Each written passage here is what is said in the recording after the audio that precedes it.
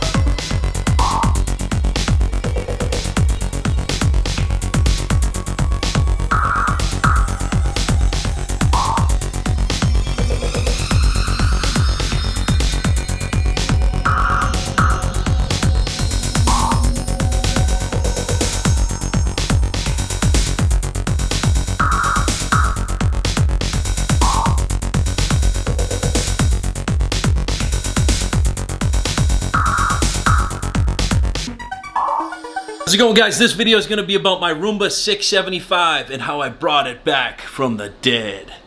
If you like this video, hit that like button, subscribe, and leave a comment or question down below.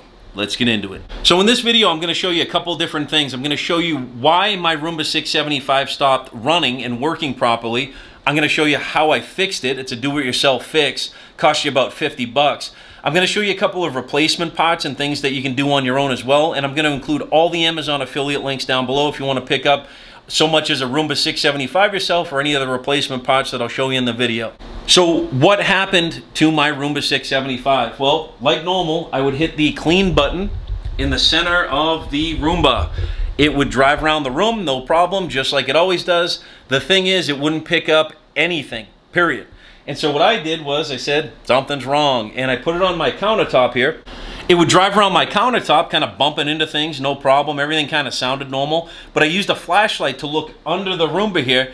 And what I saw was the brushes, both brushes, the rubber and the bristle brush, were not spinning. So it was basically just like a remote control car driving around the room, bouncing into things, but it wouldn't pick up anything. So what happened? What broke? This broke. This is the cleaning head for the Roomba, okay? You can see the brushes in there, the bristles and things like that. Both of those brushes would not spin. Now, why? How did I figure this out? And how did I replace this thing? Well, this is what's gonna cost you about 50 bucks off of Amazon, and that's gonna save your Roomba 500 series, 600 series, and your 700 series. This cleaning head in the Amazon affiliate link down below is good for all the 500s, the 600s, and the 700s. So for example, I have a 675.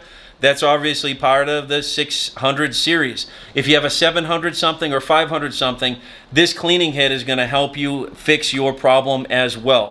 So what happened to the cleaning head? Well, I'm going to spin this and see if you guys can hear the noise here.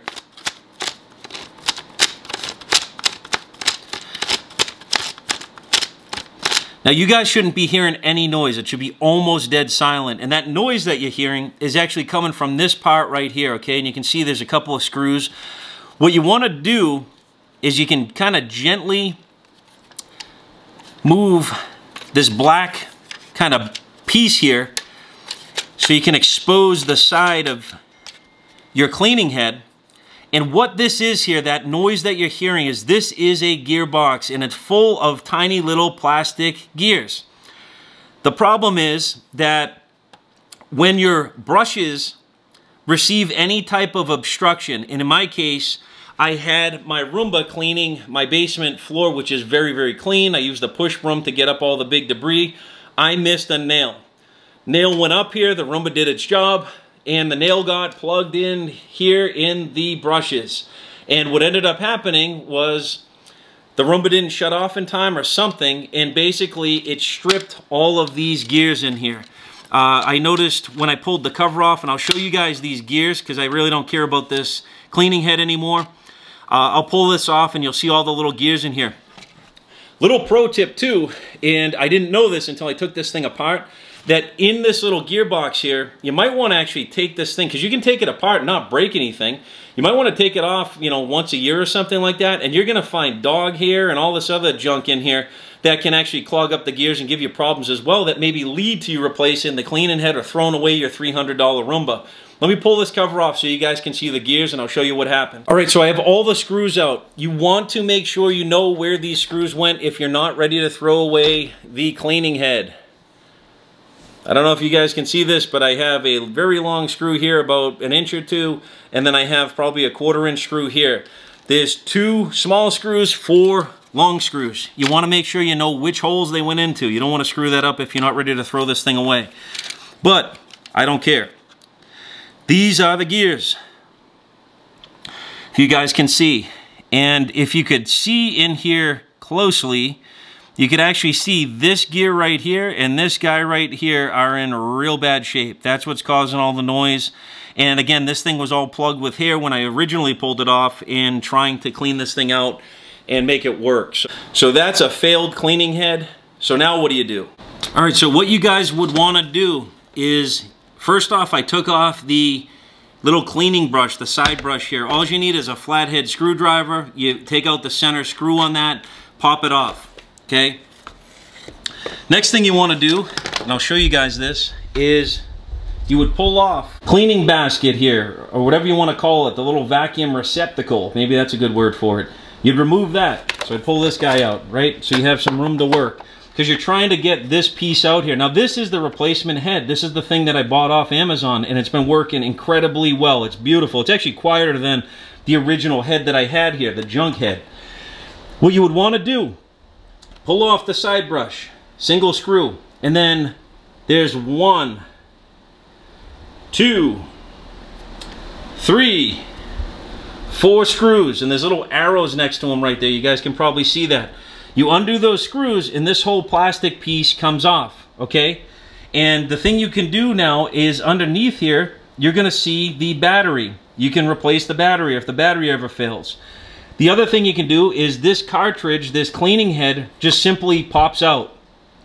And then you would take, for example, if this were the new one, you would just simply figure out the orientation here for it, which would be something like that. And you would just simply drop it in there and plug it in. What do I mean by plug it in? Well, the thing you just need to be careful of, not crazy careful of, but you just have to be aware of, is there's a little electrical connector right there. Let me see if I can focus on that thing for you guys. And what you want to do is make sure that that does not get damaged. It shouldn't get damaged. It should just go straight into the uh, other end of this thing when you plug it in. But you just need to be careful about that. And then basically what you would do is you would put the black cover back on, which is this thing with the four screws here. Put that in. And then you're going to put your screws back in, your four screws, tighten them down. Put your brush back in, tighten your brush in. Put your little receptacle back in, boom, and then this thing is ready to go and clean your house again. Now the replacement parts beyond what I just showed you guys that I want to show you is this little kit that I got. The Roomba replacement parts are pretty darn expensive. So what I did was I went on Amazon and I bought this guy. So again, link down below. And this has worked out great for me. I've been very happy with this. Uh, you get a bunch, I think there were like five or six of the filters you get a bunch of the, I think, again, I think there's six of the side brushes. You get a little brush here, screwdriver, a couple of little screws here for the side brush, you can see that. And then of course you get a bristled brush and the rubber brush. And if I remember right, I got three bristled brushes and three rubber brushes there. And you guys will see the price if you click the link down below for the replacement parts it's going to be a fraction of what you would pay Roomba directly to get the factory parts from Roomba. Just hold the side brush, you get the screw out of the middle there, slides off. And I'm going to take out those four screws on the black piece that I showed you guys.